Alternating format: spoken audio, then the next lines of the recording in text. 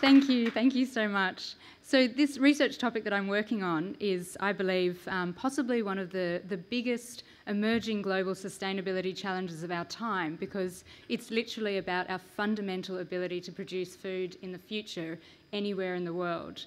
And for example, while every farmer in the world needs access to phosphorus fertilisers, just one family in the world controls three quarters of the world's remaining finite phosphate reserves. And possibly many of you in this room have never heard of this issue before, and that's partly because it hasn't been on national research and policy agendas, again, anywhere in the world.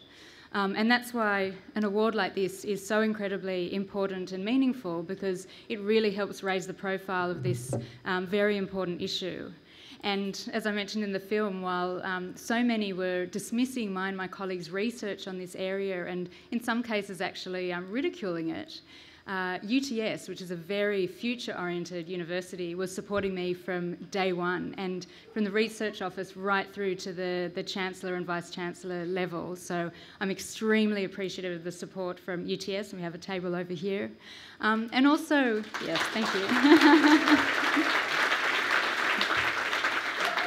And I'd, I'd, particularly also like to thank my colleagues at the Institute for Sustainable Futures, um, which is at UTS, um, which are the most incredible bunch of innovators and change makers I've ever met in my life. So to be able to collaborate with them is absolutely inspirational and one of the things that keeps me energised. And I'd particularly like to mention my boss um, at the director of our institute, Professor Stuart White, who's not only been my boss and my supervisor, but the co-founder of the GPRI um, together with me. Um, a co collaborator, and also a mentor and a friend. So, a huge thank you to Stuart um, and all my, my colleagues.